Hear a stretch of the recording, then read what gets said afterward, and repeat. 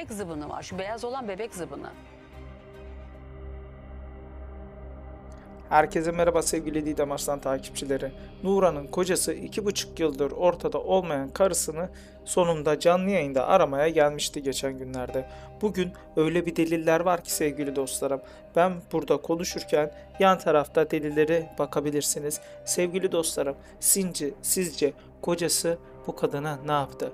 Ben birçok yerde teorileri gördüm. Sevgili dostlarım sizce bu şahıs karısını hayattan koparmış mıdır? Didem Arslan ile Vazgeçme programında bugün bulunan deliller herkesin ağzını açık bırak. Köyde birçok yerde böyle eşyaların olduğunu ileri süren Nuran'ın kocası bizleri de oldukça şaşırtmış durumda. Bu yüzden birinci şüpheli yine kocası ve akrabaları oluyor sevgili dostlar. Gencecik kızı hayattan kopardılarsa eğer bunların en tez vakitte cezalarını almasını diliyoruz. Sizce sevgili dostlar bu konu nereye kadar dayanır ve sonunda Nuran'a ulaşılabilir mi?